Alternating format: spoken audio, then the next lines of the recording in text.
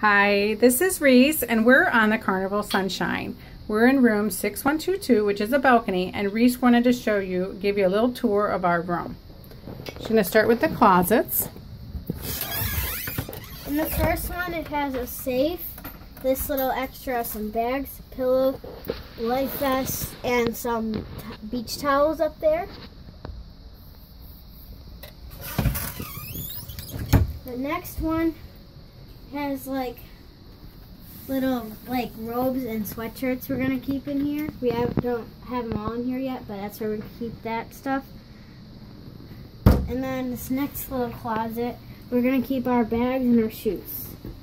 So the closets are, uh, just to note, the first closet had several shelves on it. Um, the next two closets are really hanging, um, and then there's some, you can put some items on the floor. Not a great use of space. Um, there is a top shelf there as well.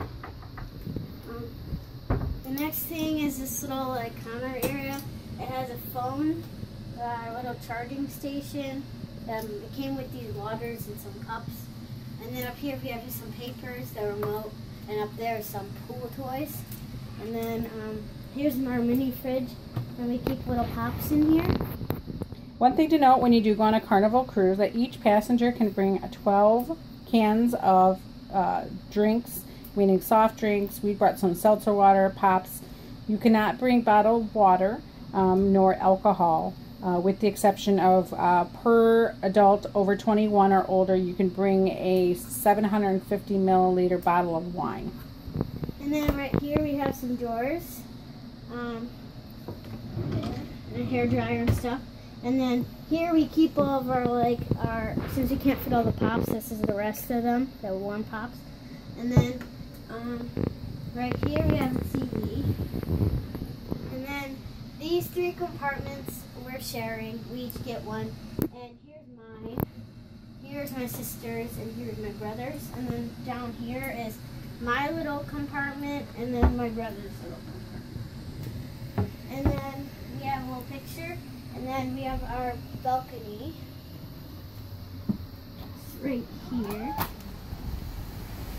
And what we liked great about this um, cruise is we could get a balcony. We uh, instead of having interior adjoining rooms, we have we can adjoin the room through that corridor there. Um, we did have we do have to wait to call guest services in order to get that open, which was kind of an inconvenience, even though I had registered as a family.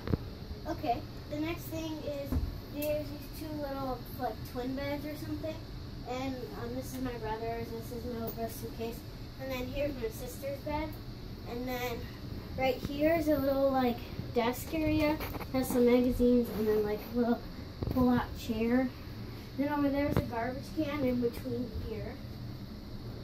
And this room is really nice because it has two sets of double, uh, it has two bunk beds and then it has two um, twin beds. And really, the room, we have the room next door, which we have a queen in, uh, I'm sorry, a king in um, with the couch. And this room is just more spacious. Um, it has more drawers. It has more shelves.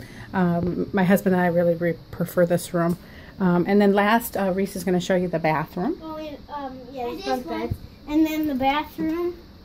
Um, and here's just the sink, a little light, some shelves, towels, garbage and then there's like tissue holder.